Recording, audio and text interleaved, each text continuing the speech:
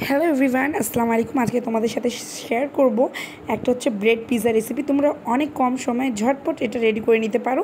তোমরা চাইলে ডিনারেও করতে পারো। ডিনারেও খেতে পারো এটা, না হলে তোমরা বিকালের নাস্তায় এটা নিতে পারো। আর দেখো আমি ক্যান্ডেল লাইট ডিনারের মতো সুন্দর করে ডেকোরেশন করে তোমাদের জন্য সাজিয়ে নিলাম। তো চলো ঝটপট দেখাই দিই কী কী দিলাম এই রেসিপিতে তো বানানোর জন্য প্রথমে লাগবে পেঁয়াজ কুচি, একটু রসুন কুচি, ক্যাপসিকাম কুচি, টমেটো কুচি আর সাথে গাজর কুচি। তোমাদের হাতে যে ভেজিটেবল থাকবে সবগুলোই নিও।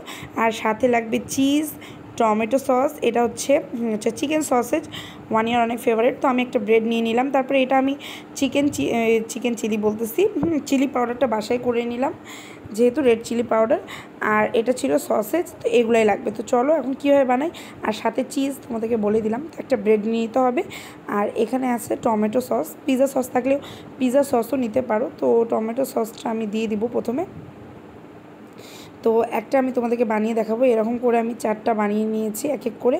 তো এই তো আর সব টমেটো, তারপরে ক্যাপসিকাম, তারপরে গাজর সবগুলো এক জায়গায় করে মানে এক জায়গায় করে নাড়াচাড়া করে নিতে হবে। তাহলে পরিমাণ মতো সবগুলাই আর কি একসাথে যাবে। তো এই তো দেখো আমি সবগুলোকে মিক্স করে নিলাম। মিক্স করে এখন এগুলাকে পরিমাণ মতো ঢাললে সবগুলো একসাথে পরিমাণ মতো যাবে সম পরিমাণ যাবে আর কি। কোনোটা বেশি, কোনোটা কম হবে না, এই জন্য এক জায়গায় করে নিলাম আর কি। তোমরা চাইলে না করতে পারো, আলাদা আলাদা দিতে পারো, সমস্যা নেই। তো দেখো, প্রথমে টমেটো সস বা পিৎজা সস যে আর কাছে যে সস আছে সেটা প্রথমে লাগিয়ে দিতে হবে সুন্দর করে। তো সস লাগানোর পরে তারপরে সব যেগুলো কিউব করে সব আমাদের সবজিগুলো যেগুলো কেটে রেখেছিলাম, সেগুলো দিয়ে দিব, এক এক করে। আর আমার রেসিপি যদি ভালো লাগে, অবশ্যই একটা লাইক কমেন্ট শেয়ার করতে ভুলবা না। আর কমেন্ট বেশি বেশি করবা, তোমাদের অ্যান্সার দেওয়ার আমি সবার চেষ্টা করি। তো তোমরা অবশ্যই কমেন্ট করি ওকে আর ভালো লাগলে একটা লাইক দিয়ে দিও, আর বেশি বেশি কমেন্ট আর ভালো লাগলে শেয়ার করিও ফ্রেন্ডের সাথে ফ্রেন্ড ফ্যামিলি সবার সাথে। আর এই তো দেখো, এখন আমি দিয়ে দিলাম, আর এত সুন্দর হয়েছে, এত টেস্ট একদম হেলদি একটা নাস্তা, অল্প তেল দিয়ে একদম। তেল দাও বা বাটার দাও, যাই দাও। তো এই যে সবগুলো আমি দিয়ে দিলাম, দেওয়ার পরে এখন আমি হচ্ছে চিজ দিয়ে দিব। তো উপর থেকে এখন চিজ একটু ক্রাশ করে দিয়ে দিব। হ্যাঁ তো দেখো রেখে নিয়েছি, এখন চিজ দিব। পরিমাণ মতো তোমরা চাইলে যত ইচ্ছা চিজ দিতে পারো। আমি পরিমাণ মতোই দিয়েছি, যতটুকু আমি খাব চিজ ততটুকুই। তো, এই যে এখন দিয়ে দিব।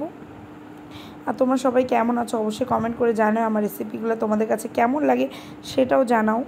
আর এই তো আমি চিজ দিচ্ছি। আর দিতে দিতে তোমাদের সাথে একটু গল্প করে নিই।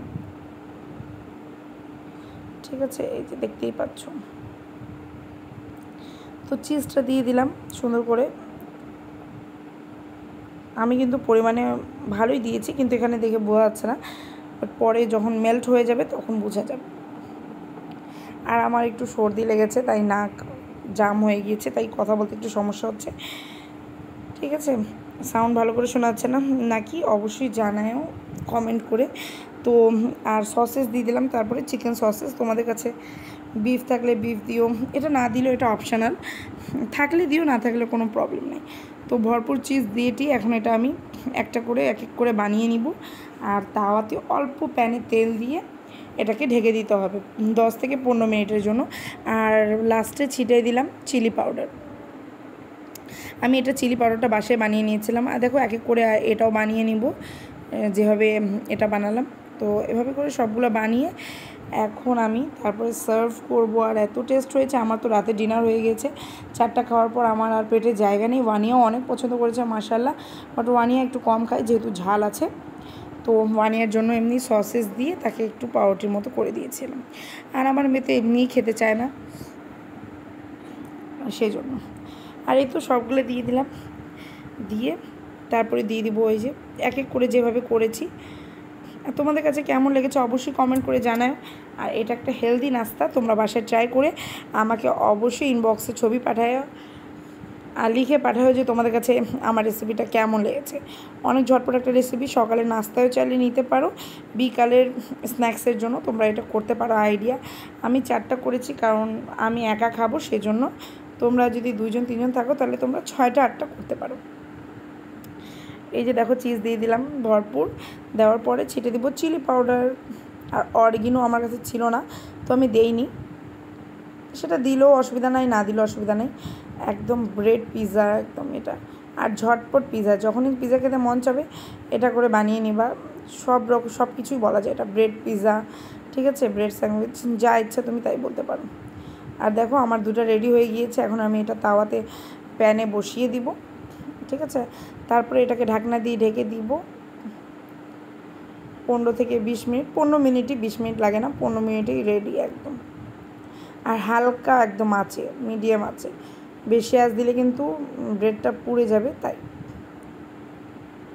তো দেখো, এখন আমি দিয়ে দিলাম প্যানে।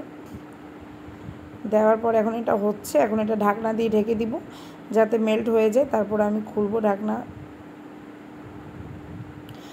তো এভাবে করে দেখো, আমি দুটা নামিয়ে নিলাম আর দুটা দিয়ে দিলাম, যে হোক, দেখো কি সুন্দর একদম আমার পিৎজাটা দেখতেও কত কালারফুল তাই না? মনে হচ্ছে এখনই খেয়ে ফেলি। তো এভাবে করে আমার পিৎজাগুলো রেডি হয়ে গেল। তোমাদের কাছে কেমন লেগেছে অবশ্যই তাড়াতাড়ি করে কমেন্ট করো। আর ভালো লাগলে দেখো, আমি একটু তোমাদের জন্য স্টাইল করে করেছি। ভালো লাগলে অবশ্যই লাইক কমেন্ট শেয়ার করো, আমার পেজকে শেয়ার করে দিও। আর তোমাদের সাপোর্ট অনেক জরুরি, তাই সাপোর্ট করিও। সবাই ভালো থাকবা, সুস্থ থাকবা। আমার রেসিপি ভালো লাগলে অবশ্যই ফলো দিও লাইক করিও কমেন্ট করিও, আর বেশি বেশি শেয়ার করিও আমার পেজকে মানিস মাস্তি ব্লগের পাশে থাকবা। ঠিক আছে? তো লাইক করতে কিন্তু ভুলবা না। লাইক করতে একদমই কিপটামি করবা না। আমার সঙ্গেই থাকো। তো আজকের জন্য বাই বাই পরে দেখা হবে। আল্লাহ হাফিজ।